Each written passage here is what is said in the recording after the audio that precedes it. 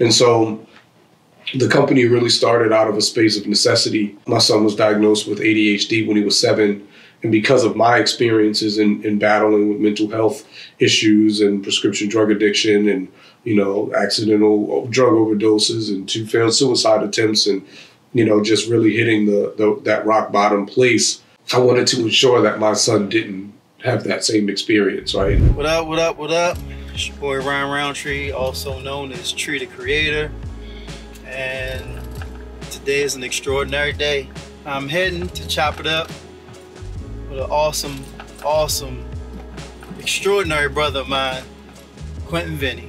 I'm not even exactly sure when I when I met Quentin Vennie. I mean, probably I'm, I'm, gonna say it was high school. I'm gonna say it was officially high school, um, Milford Mill Academy.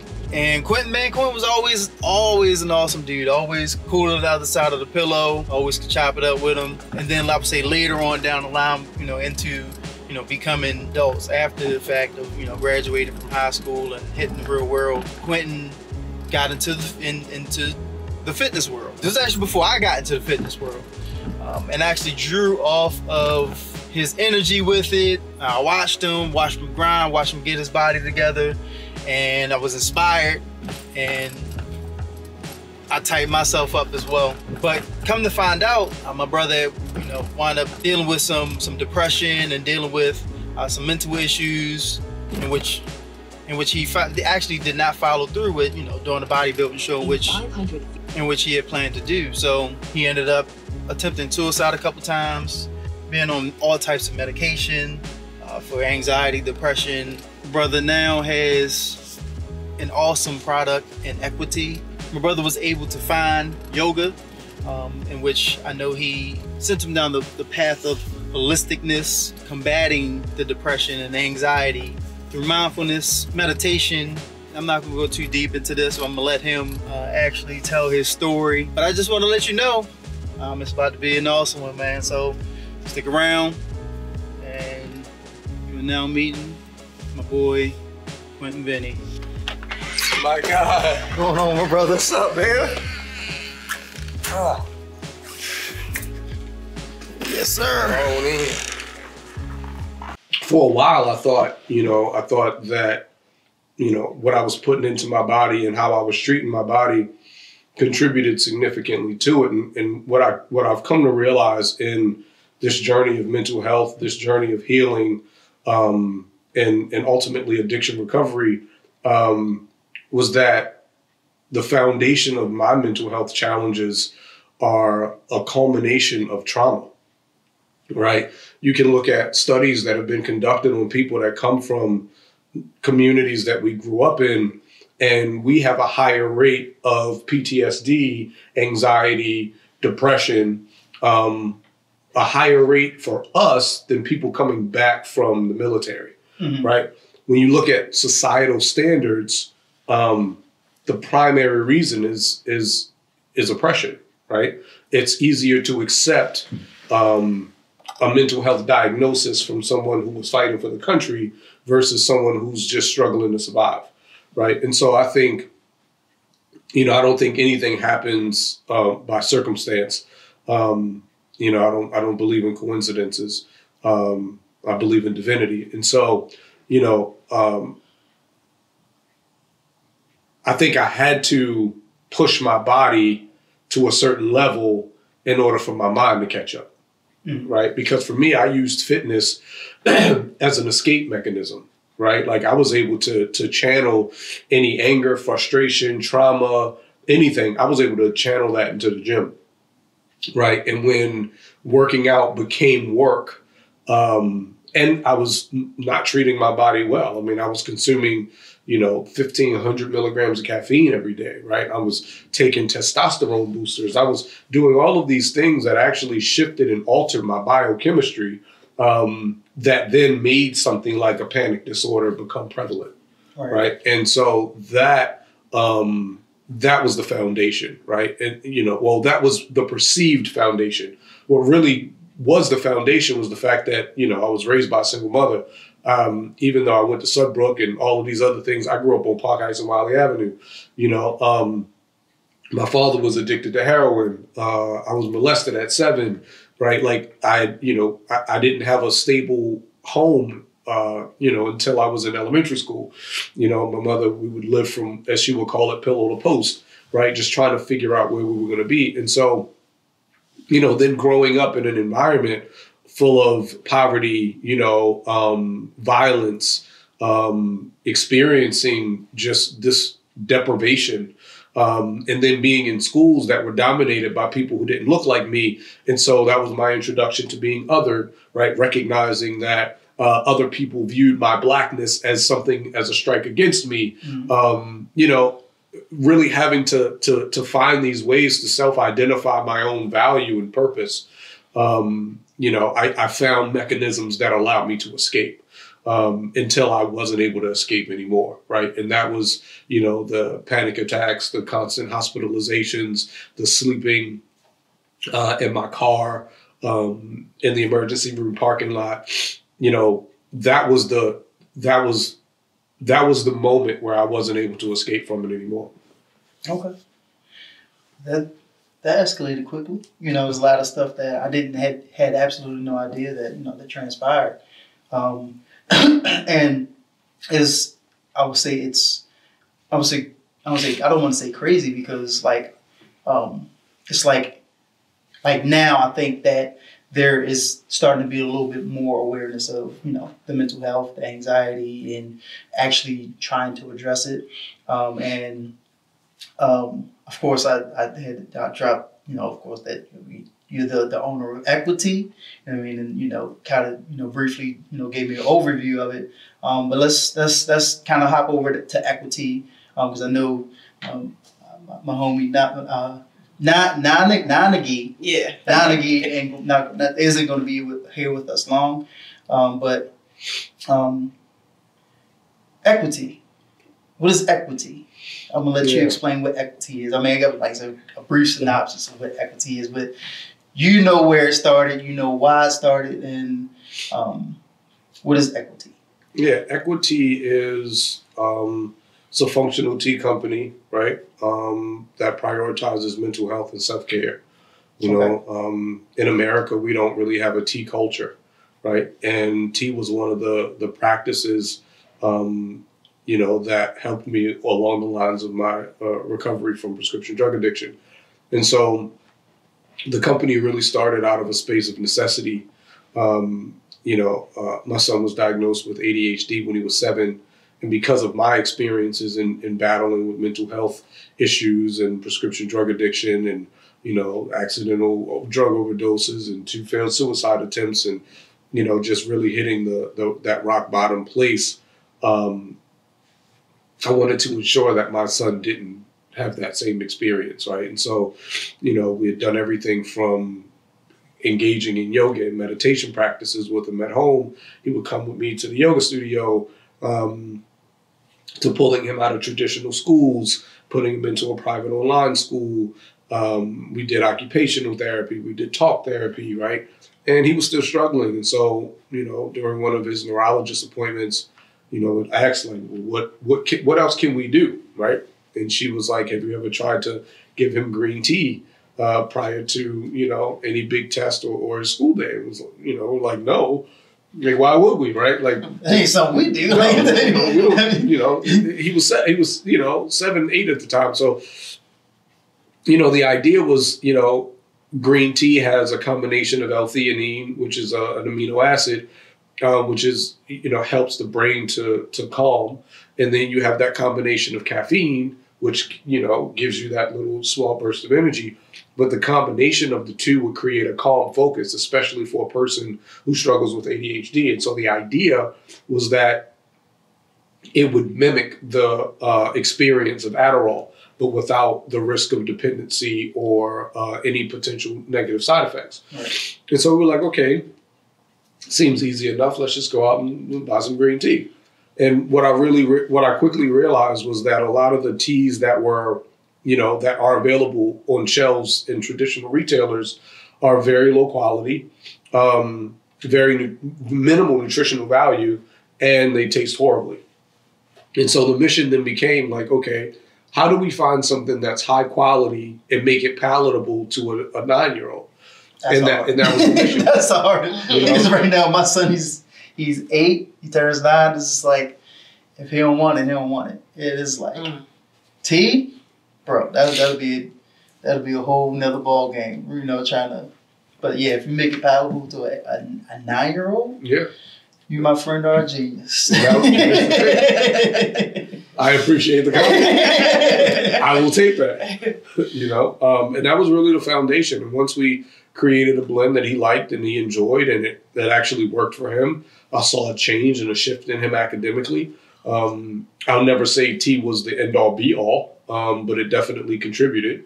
And um, you know, my wife and I at that point were like, what other things can we solve for as a family? You know, and so we had created a multitude of tea blends that we were just drinking as a family, you know, and, and once I stepped away from my job um, because of some racial issues that I was dealing with, I came up with the brilliant idea to, to make available to other families what we had created and made available to ours. And, and that was the foundation of Equitea. Nice. Man, that, that name is genius, dog. it's just like it's genius. Like I was like, bro, like how do you get that? Like how is like how is that even still available? Like, yeah, man, that was that was that's that was genius. Like equity, equality, and and Well, that's the thing, right? and, Like it was it's when we think about it, right? Equity uh, and equality are two words that are often thrown around that people believe are equal, but they aren't, right? Like, we'll never experience equality. We'd have to burn it down and build it from ground up. But we can get to a place of, of equity, right? Creating equitable resources, meeting people where they are, providing them the resources that they need to to, to find this balance, in this level of equilibrium in their wellness journey, in their healthcare journey, in their academic journey, in their professional journey, right? We're looking because we don't have the same starting point, right? But with the necessary resources, we can all end up in the same place, right? And so I'm looking to democratize the wellness space while also democratizing the beverage space and creating and up leveling the conversation and, and resources to mental health because without that foundation, everything else falters. Absolutely. Um, so you have your friend Nanagi, Nanagi. I, I- keep saying, I keep having to stop saying nine, nine. Again, you have your friend Nanagi here, um, and come to find out, Nanagi, she she she uh, represents Baltimore, but she's from DC. I had to, had to put that in there. She's from DC. She represents Baltimore to the fullest. Um, but I have not asked Nanagi too much of anything, um, so I'm not exactly um, but I, I know that you're here to, I guess, give us a, I would say your your, your thoughts on on Equitea because is it is is dealing with her um, how how is how has Equitea affected you?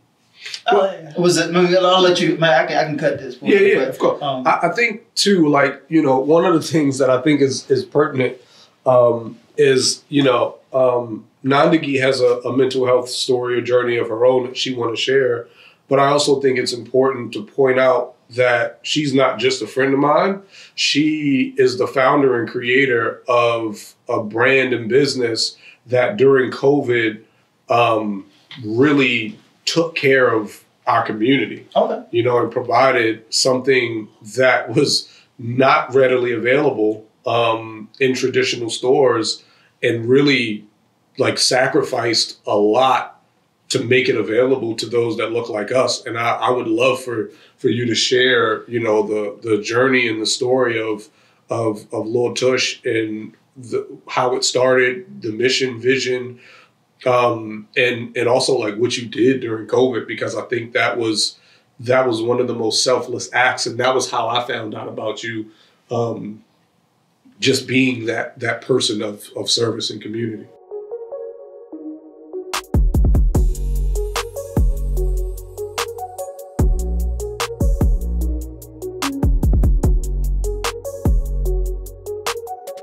For that beautiful intro.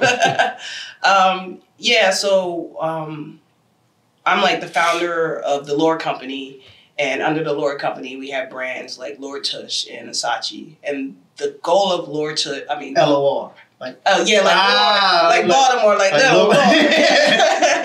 like my my, uh, my dog's name on um on Instagram is Laura, Laura Pablo. Laura Pablo fuck versus Ella. I was like, why you do Laura like it's a Baltimore thing? You wouldn't get Yeah. it. You wouldn't get it. That's what's up. Yeah, so like our our overall goal is just to create more sustainable products that are in the you know household space and in you know the fashion space. But we started out with Laura Touch, which is uh, bamboo toilet paper, Oh, and okay. so during the pandemic, we were we were getting ready to launch. We were so excited. We had all the like material. We was like, oh yeah, we finna do this. We about to make this company. We about to reach the people we really want to reach. And then everything got shut down. Uh, every grocery store you went to, there was no toilet paper.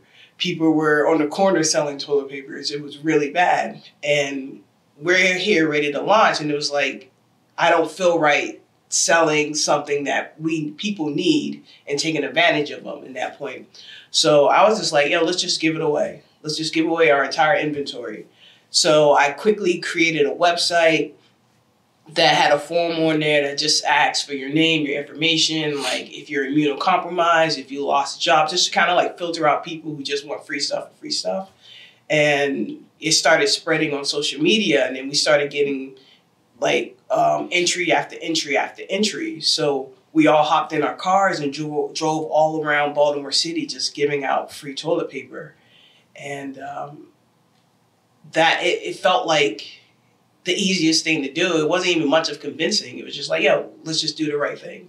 And that was the right thing. And it was crazy us driving up to people's houses and them like either being super excited or like super thankful that some random stranger on the internet just delivered them toilet paper that they were looking for. And we ended up going to a lot of senior homes, Mhm. a lot of um, people who weren't there financially, a lot of people who lost jobs. And like we just wanted to to support where we could because you know it's, it's important to look out for not only people that look like me but for anyone who's experiencing any kind of hardship. Right. So um, yeah, we still to this day, you know, donate toilet paper. Um, we're not as public about it because you know, it's. I think, I just want to do the good. Right. So that's what we've been doing. And as a business, you, you gotta make money. Oh yeah, we gotta make money. Right. But it's definitely good to kind of have that option for people that you know in need. That you know, and I'm sure it was a filtration process, you know, for to get there. So, yeah. but that's dope. Yeah, Don't thank touch. you. Don't touch. yeah. Had to give me some.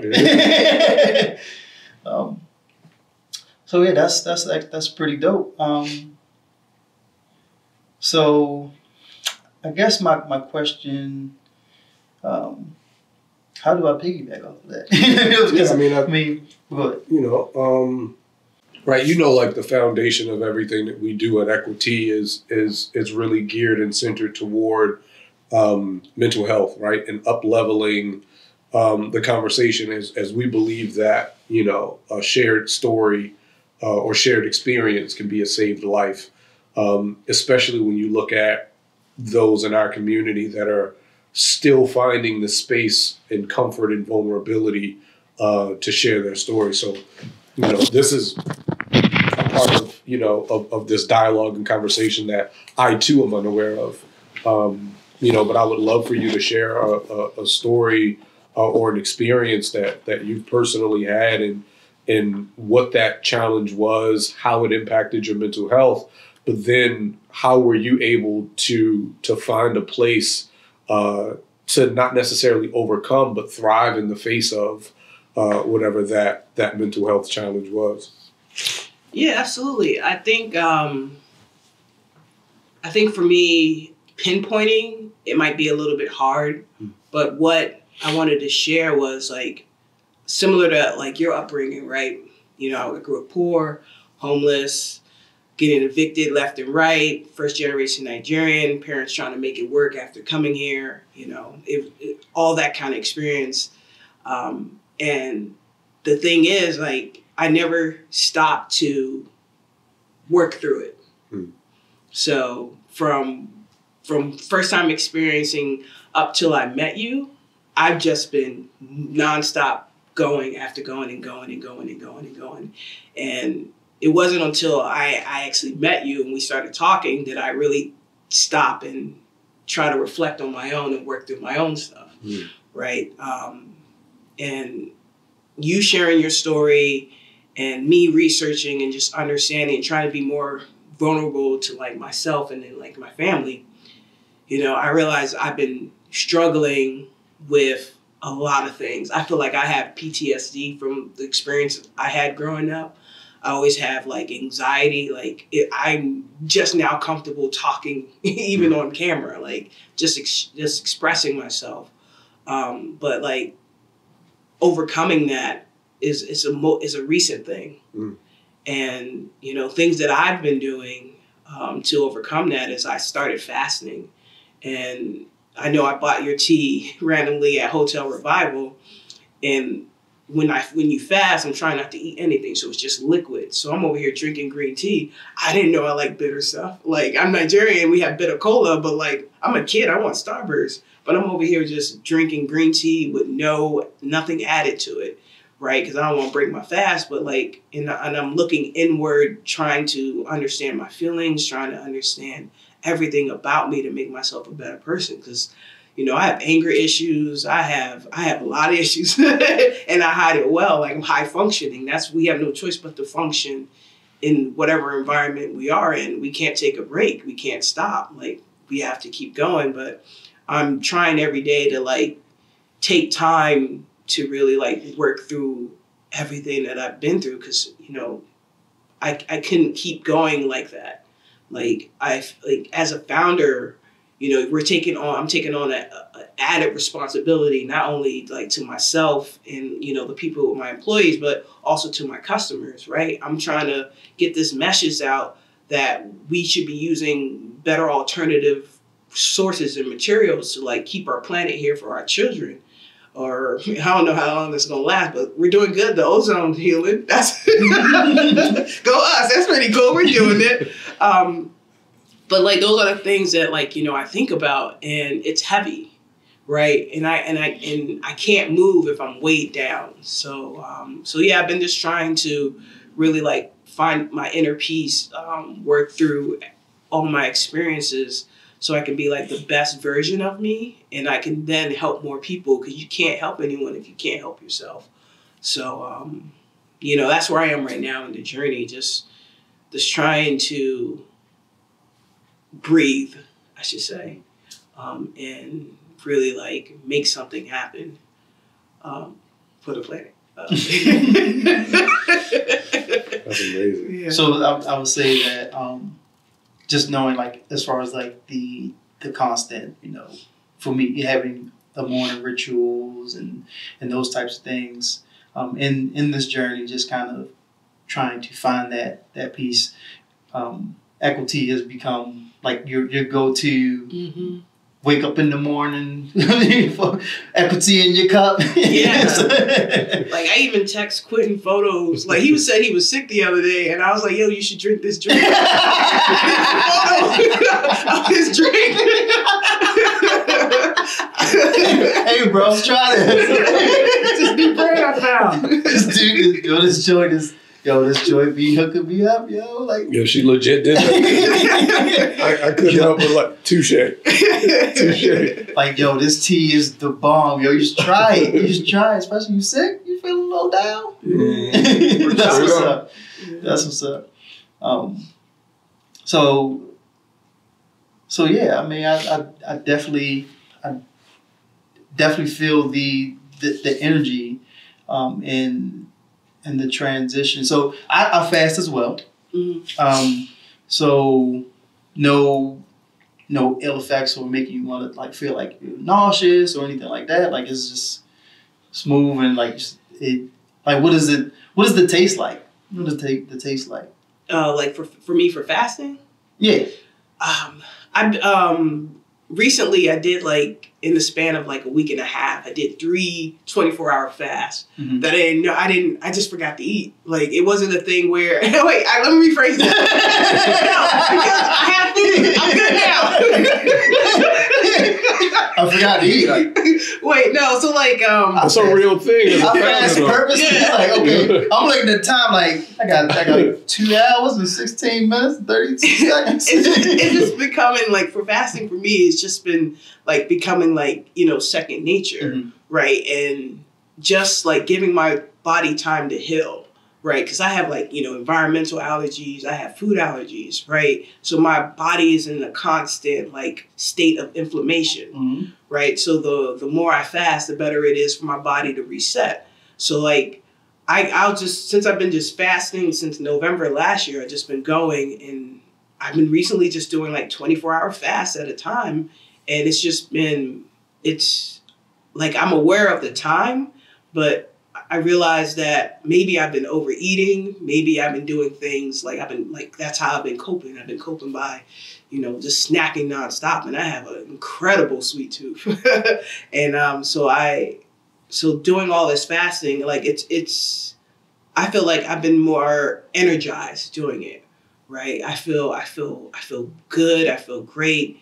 You know, I still make sure I have a, a good window for me to get my um, my food in and, and you know the nu- nutritional value that I need to keep my body going. But um, it, it feels life changing. Right. So the funny thing is, I, I've historically fasted, especially like when I got into bodybuilding, so to say. Um, it was the easier, the easier way, easier thing for me to do to kind of keep those those calories kind of at bay. You know, you got all day to eat. It's like, oh man, I'm I'm gonna snack on this, snack on that. Versus like when it's time for me to eat, it's like I don't need something good. I don't need something good. You know what I mean? Like and just it's either like one meal a day or it's going, you know, within a four hour four hour window for me. And for sure, like it gives your body an opportunity to kind of reset or Mhm. kind of not to be always digesting something, you know what I mean? But to actually shuttling the nutrients to where it needs to go versus like, oh man, something else, you know what I mean? Like you're just compacting this on top of each other. So I'm a I'm a huge advocate of of fasting and and green tea is definitely um, my go-to. Um, and uh, apparently, I've been drinking the low quality stuff.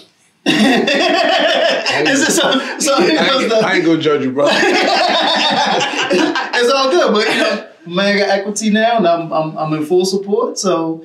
Uh, Equitea from here on out. No more Bigelow. Sorry, Bigelow. Peace out. So, but um, but yeah. So Equitea is definitely um, so is is this technically Equitea? I mean this this is see this is this is the loose leaf loose leaf bird. this this the this the real this this the unpackaged equity. Um, I appreciate the bougie. Uh, Hold on, Right, I'm right. gonna I'm gonna change hands so my It was too out. good, so I'm, I'm out. no, so you know, Equitea. We you know we started off as a loose leaf company and realized that there's still an apprehension for a lot of people to make a loose leaf cup of tea. Um, and all of our teas are we have a proprietary blend. So you know, between my wife and I, we've created every blend that we have and, and that we offer. Um, and um, we we made that shift and transition uh, toward the the middle uh, part of last year to really taking the guesswork out of it for consumers um, and making a high quality cup of tea in a can, right? So it's more accessible. It's it's a grab and go type of thing. Um, what you are drinking there is a, a, a very high quality Japanese loose leaf single origin tea um, that we source directly from Japan.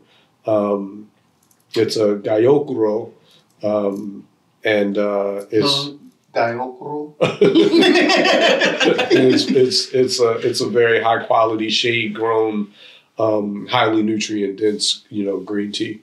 So um, in addition to our proprietary blends, you know I have a pretty expansive uh, tea collection. So you know we drink a, a, a multitude of different types of teas, whether it's our own blends or it's single origin.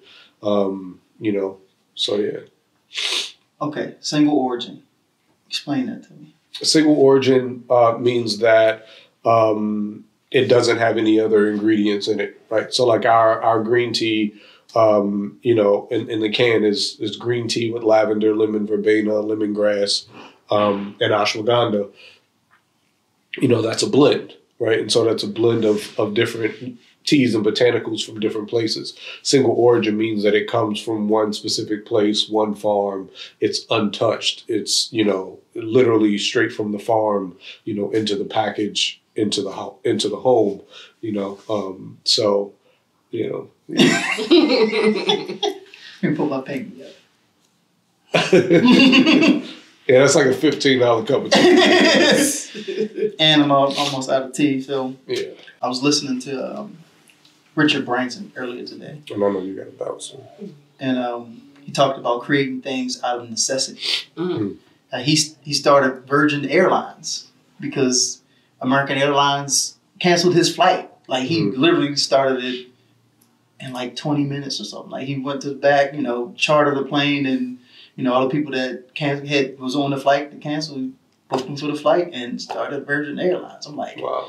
um, but for you to create um, this tea company out of the necessity of, you know, getting the, the top quality products, um, the top quality resources and products for for your son, you know, to um, to take that that edge off of a lot of times I think not I know I mean we put so many of these um, processed um, products in our bodies and we're people don't realize we're as we are all hormonal creatures and body can't if you can't read it your body can't recognize it. You know what i mean? So it's one of those things where it's like let's say a computer like you're putting a code into your body in which it doesn't recognize. So you know i mean i grew up acneic skin i grew up with um, or even um, even as far as like let's say weight for instance like I, and that's why I fast as well. Like I feel as though like a lot of things we've been taught, like okay, you need to eat breakfast, lunch, and dinner.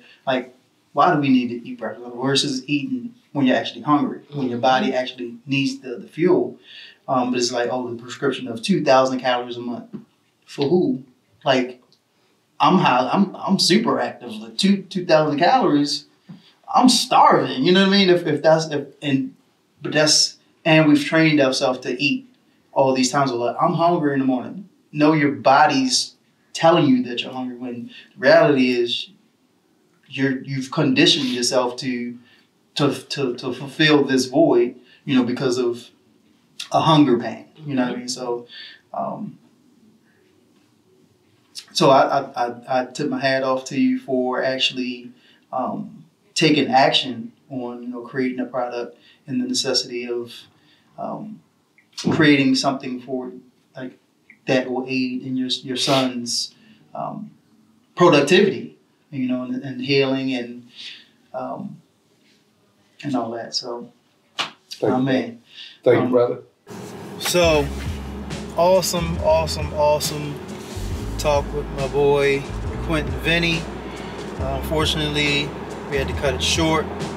Um, but it just goes to show, like, man, I, I'm super proud of that dude, man. Was just continues to just just move forward and to create in, in the midst of the adversity, adversities of life. A lot of times, like we allow ourselves to get so so so downtrodden and and under what what we're up against when the issues in which you're dealing with um, it's very well could possibly be the opportunity to create or the opportunity to to be a beacon of light for someone else. I mean, there's so many, so many people out here that could possibly use a word of advice. Um, if you see there's a need, like fulfill it. You know what I mean? Fulfill that need. Uh, you never know how many other people could use it. Thus, Equitea. You know, he he saw a need. You know, his son uh, needed needed something that was not prescription drugs, going more the organic way of uh, the way that things are intended to be, and creating something that will now make make this man a millionaire, dog. I, is possibly billionaire. Like it's, it's the the sky's the limit with with this. I mean, his the message alone and the direction and the purpose of this product was awesome, man. And I, I'm I'm super proud to know that that's my guy. You know what I mean? And I just can't wait.